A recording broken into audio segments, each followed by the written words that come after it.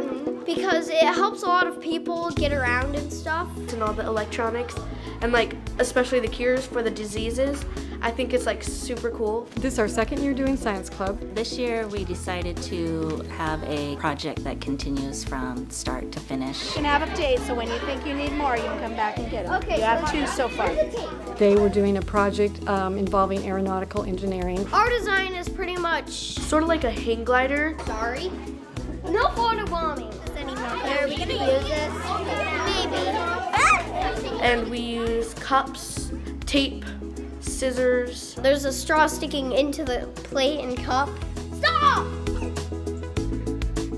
Stop it! Stop! You're ruining the video. I like the energy that the kids have, the excitement. They're engaged in the different challenges that we have them do. Buddy, we can't design I'm sorry. Yeah, we can. Engineer. They're learning the method of research to exploring um, different materials and designs. Nice drawing. It's not my best. But still, it's still pretty close to what we got.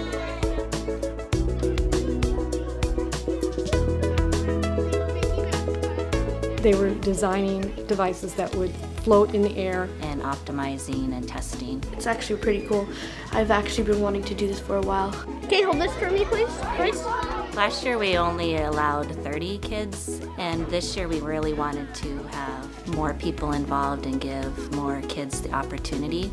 It's a little louder, the energy is more intense. Thank you. they just want to get going on it. They want to get their hands in it. Science is really important for kids this age because th- at this age they get inspired to be interested in science and math. And when they get into junior high and high school, that they start taking more of those science and math classes. because we need more engineers in our world.